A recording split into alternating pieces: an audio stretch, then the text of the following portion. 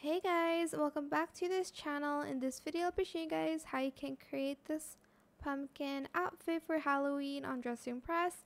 This is pretty popular. You're going to select this dress here and you're going to color the dress orange and then the rest you can either color like green or black. I'm just going to color that black for a second here and you're also going to need this dress and you're going to color that black.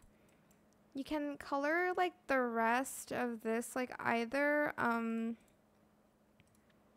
brown or green. I'm just going to select the brown one for like the twigs and stuff and I'm going to select green for the like leaves. Then I'm going to add a sleeve because I feel like that would be cute. You don't have to. You can just end it like this. Just going to add that and I'm going to add the striped socks.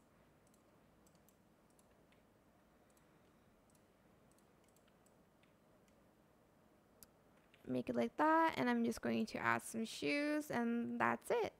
Super simple, cute, and yeah. I hope it was helpful for you guys. Don't forget to like, comment, share. Also subscribe to this channel if you haven't done that already. If you have any more questions about this video, just leave it in the comment section down below. I will try my best to answer them all for you guys. And if you found this video helpful, please click the thanks button as well. That is it for this video. Thank you so much for watching. Bye.